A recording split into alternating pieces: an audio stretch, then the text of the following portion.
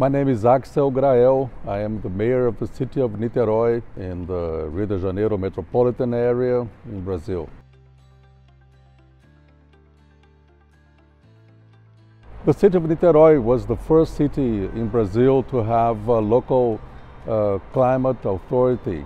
We started uh, the climate secretariat which uh, is, uh, uh, it has the, the responsibility to develop the local climate initiatives and uh, uh, this uh, has been a very interesting experience and we have been sharing it with other cities and even discussing it with state government and federal government in a way that we have been able to help to build up uh, some national strategies and regional strategies. Uh, we uh, have been uh, in contact with, uh, with the federal government and offering to, to help on some of, of, of the NDC uh, strategies. And we've been discussing, especially concerning the, the restoration of degraded land in the country. And this is one of the priorities uh, presented by the Brazilian government uh, to, uh, to recover 12 million hectares of degraded land before 2030.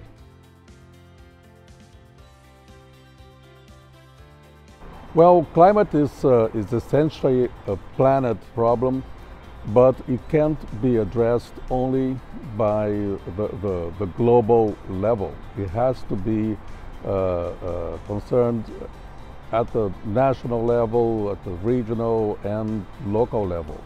And Niterói has uh, been very active uh, uh, pointing uh, that position because there is a lot that can be done at the local level.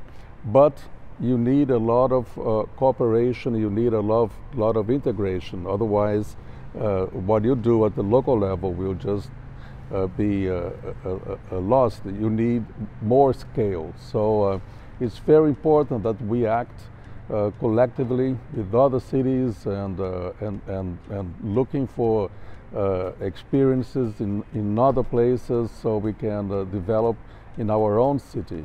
And, and this is, we, we have been very active uh, uh, uh, looking for some experience and, and sharing our own experiences with other cities.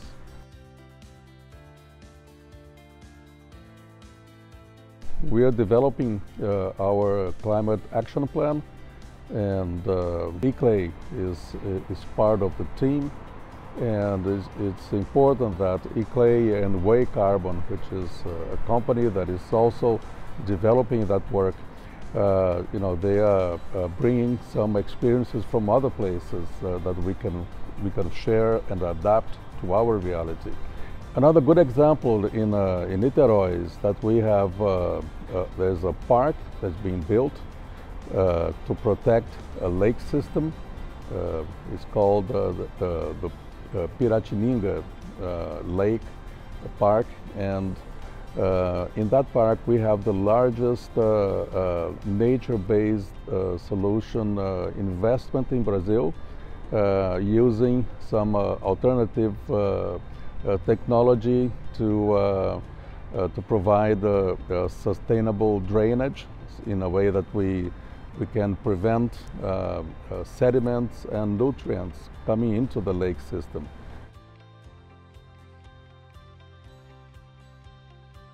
I'm the vice president of, uh, uh, of the Brazilian Mayors Association and uh, one of the main uh, subjects that I work is telling some colleagues about sustain sustainable development goals.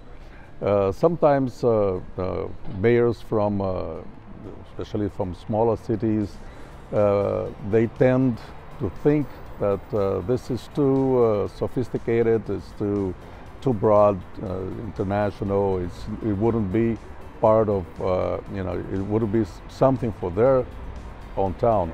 And uh, what we tell them is that uh, what they are doing is already part of the Sustainable Development Goals because one of the goals is education.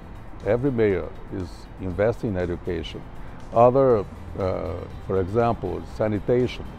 Uh, mayors, they're always worried about sanitation. Health, people are worried about health.